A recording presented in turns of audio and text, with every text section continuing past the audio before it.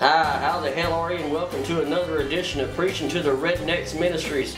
I first want to tell you my name is Jeff Howard, but don't say my full name on the internet because I'll have to call you a bully and find your damn children. Bobby, put don't give Sissy any whiskey until she's seven. And put the damn sheep back in the pen. You know how mom gets angry at me. You never